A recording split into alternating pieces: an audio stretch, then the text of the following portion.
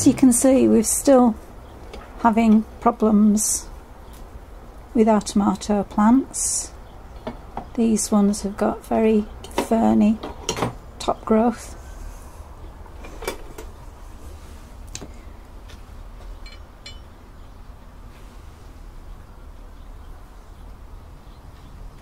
But these seem to be the ones that were most badly affected. They're just not growing very much at all. After we noticed this, I got straight on with emailing the manufacturer of the grow bags, which is Levington's, and also uh, I was looking for an email for Dow, but they seem to have changed and have now become Corteva. Anyway, Levington wrote back to us, sent an email back to us asking for photographs, which I duly sent, and then followed up with a request for us to provide a soil sample for them to analyse, which I am a little bit sceptical about because it's very difficult to analyse whether the aminopyralid or clopyralid residue is actually in the soil. And it's going to be quite difficult to decide whereabouts to take our sample from because if you look here this plant in the middle is really badly affected. But the ones to either hmm. side not so much. So obviously the contamination isn't spread evenly throughout the grow bag Meanwhile, whilst I was waiting for Leving to send us the um, pots and things that we needed to provide the sample with, Corteva emailed me and were very interested in finding out whether I'd contacted the compost supplier and asked me to keep them informed of any conversations that I had with the supplier they too were going to talk to compost makers. So that's where we are at the moment. We're going to try today to take a soil sample and see where that gets us. But I would add, if you are having these sorts of difficulties, it is important to report them because if you don't, the compost companies will just carry on in their own way, maybe unaware that there is a problem so do report it to the compost manufacturer, whoever that may be, and it's not just Levington who will be involved, but also to Corteva. Anyway, let's see how we can do with this sampling idea. So this is the sample that we're supposed to fill.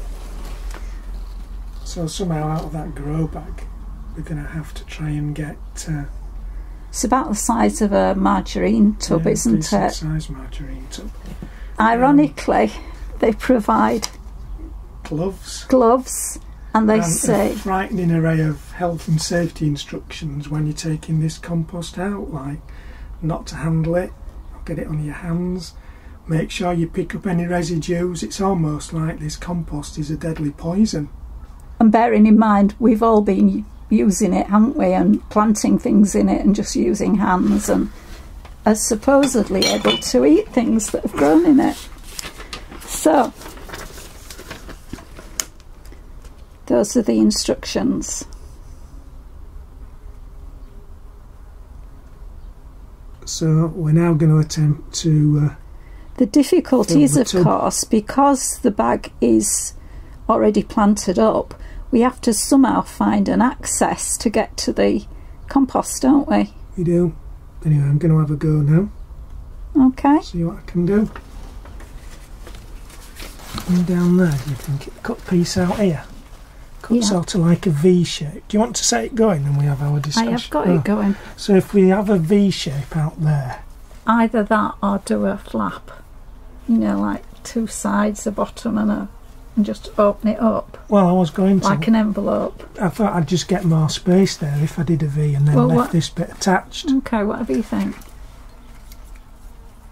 Can, are we going to the area where the most contamination well, is? That's so. the We're, middle. Yeah.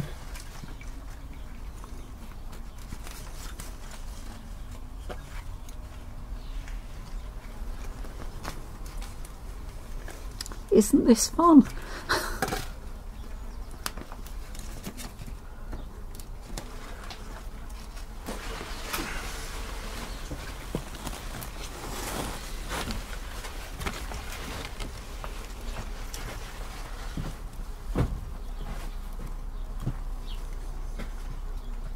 can see some roots that have got down as far as this grow bag.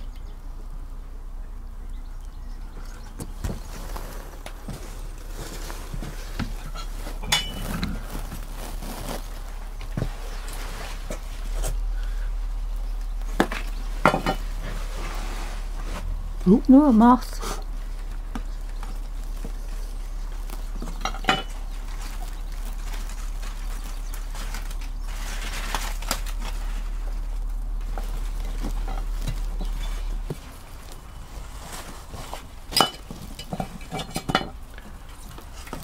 To try and not disturb the roots as much as we can in case it recovers.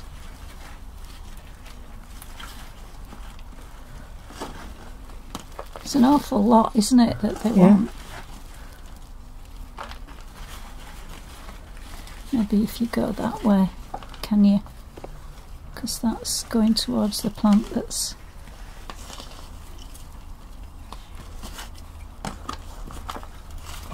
Somebody on um, YouTube said, Have you checked the batch number?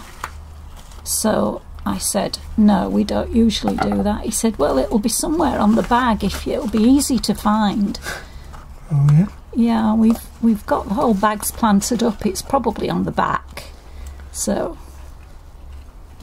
we don't know the batch number. How about that? Send them that. Yeah. So now the idea is we've got a prepaid envelope which we have to put this container in. We've got to dispose of all the rubber gloves and everything that we've used and put it in this envelope and send it off to Levington's. Or, or I think they're called Evergreen or something. yeah, I'm going to find some compost to fill that hole up with.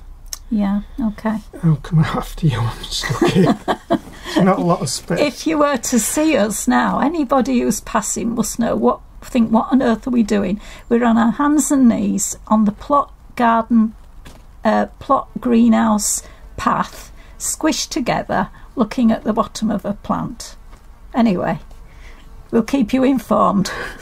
Bye for now.